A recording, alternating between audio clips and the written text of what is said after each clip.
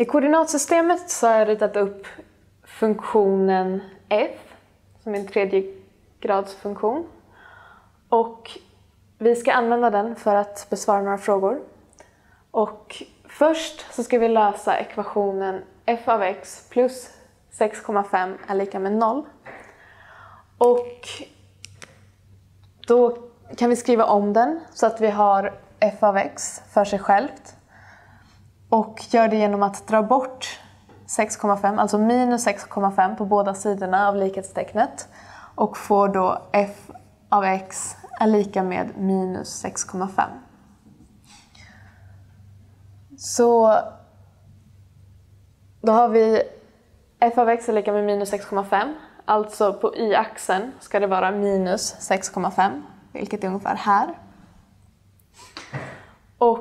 Om vi då drar ett streck här så tar vi det, får vi veta var någonstans som f av x är lika med minus 6,5 korsar den andra funktionen.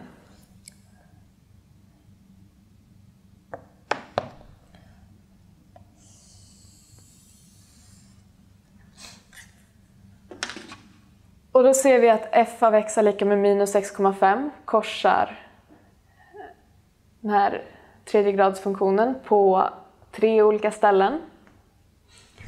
Och då ska vi läsa ut vilket x-värde, på vilka x-värden som funktionerna korsar varandra.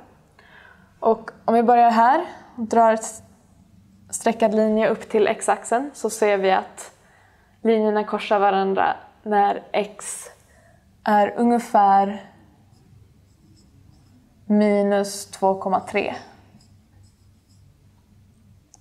Och nästa så ser vi att de korsar varandra här. Om vi drar en streckad linje upp till x-axeln så ser vi att x är ungefär lika med 1.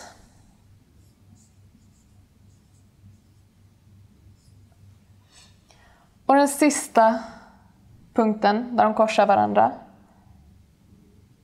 läser av så ser vi att x är ungefär lika med 2,8.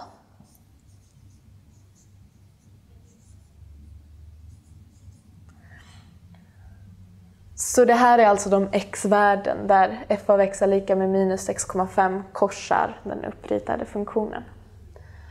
Och om vi fortsätter med nästa uppgift så har vi fått veta att g av x är lika med f av x plus k.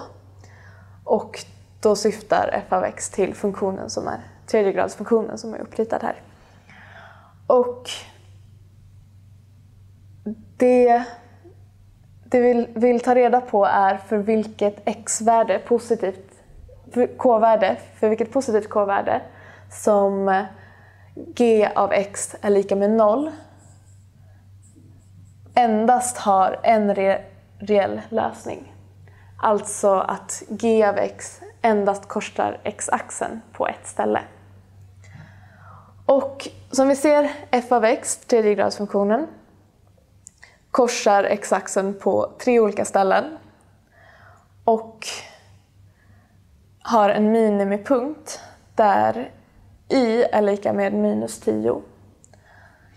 Och om k ska vara positivt så behöver det vara så pass stort att den här minimipunkten kommer ovanför x-axeln så att funktionen inte går ner igen under x-axeln och korsar den två gånger till utan endast korsar x-axeln när, innan den här maximipunkten.